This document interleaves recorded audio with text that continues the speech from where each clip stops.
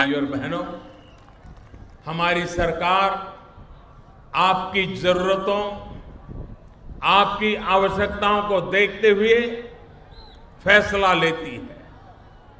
पूरी संवेदनशीलता के साथ आपकी दिक्कतों को दूर करने का प्रयास कर रही है। अब किसानों के लिए महत्वपूर्ण स्वामीनाथन कमेटी की रिपोर्ट का ही उदाहरण लीजिए। कई वर्षों से देश में मांग हो रही थी कि स्वामीनाथन कमेटी का रिपोर्ट को लागू किया जाए। लेकिन जितने दिन केंद्र में कांग्रेस की सरकार रही, वो हाथ पर हाथ धरी बैठी रही। इस ऐतिहासिक फैसले को लेने का काम भी बीजेपी की केंद्र सरकार ने किया।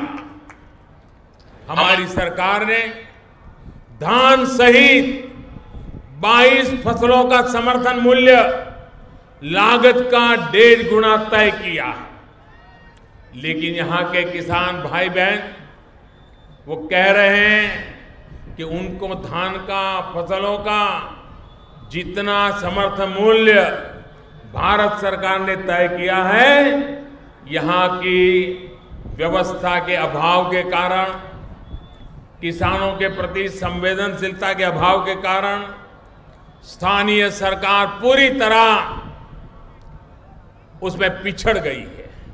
किसानों को लाभ मिल नहीं रहा। लिहाजा उन्हें पड़ोसी राज्यों का रुख करना पड़ रहा है। इस सवाल का जवाब मिलना चाहिए। जब किसान को फ़ायदा नहीं हो रहा तो ये फ़ायदा किसकी जेब में जा रहा है, किसके घर में जा रहा है?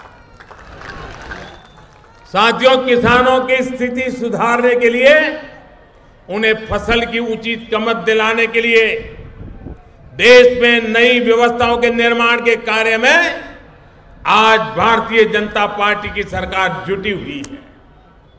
सत्तर साल से जो व्यवस्था चली आ रही थी उसने किसानों का कितना भला किया है, इसके हम सभी गवाह रहे हैं।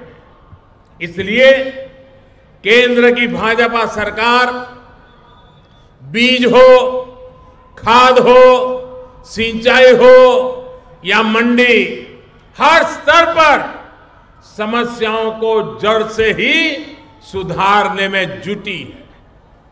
लागत कम हो मूल्य ज़्यादा मिले, बिचौलिए बीच से खत्म हो, इसके लिए निरंतर प्रयास चल रहे हैं। किसानों और उपभोक्ताओं के बीच बिचौलिए न रहे, इसके लिए किसान को मंडियों से, इंटरनेट के माध्यम से जोड़ा जा रहा है। ऑनलाइन बैंकिंग के ज़रिए जोड़ा जा रहा है। इतना ही नहीं, किसान की फ़सल बाज़ार तक आसीना, आसानी से पहुँच जाए। दूध, फल, सब्ज़ी का नुकसान ना हो। इसके लिए कोल्ड स्टोरेज की चेन विकसित की जा रही है। किसान की आय बढ़ाने के लिए सिर्फ़ खेती के साथ साथ इससे जुड़े दूसरे व्यवसायों, जैसे पशुपालन मुर्गी पालन, मधुमक्खी पालन और मछली पालन, उस पर भी विशेष ध्यान दिया जा रहा है।